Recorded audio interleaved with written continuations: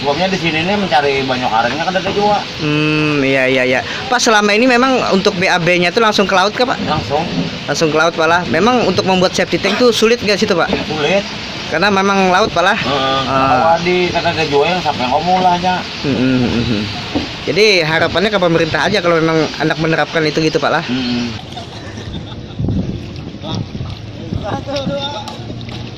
Kalau kendalanya itu kan sudah terlihat di desa Rampa ini seluruh perumahan itu non permanen. Hmm. Jadi seluruh rumah itu kan non permanen itu pasti tidak menggunakan WC yang standar, yang menggunakan apa kloset, safety tanknya itulah jadi kendala. Sulit kah, Pak untuk membuat safety tanknya karena di daerah pesisir? Mm-mm. Hmm, jadi itu salah satu kendala gitu, Iya, Pak lah. memang. Hmm. Karena kan safety tank itu ada harus ada pembuangan akhir yang dibikinkan kotak itu kan harus diisi juga dengan apa ikan yang sering memakan kotoran-kotoran itu supaya berubah jadi netral lagi kotoran. Hmm.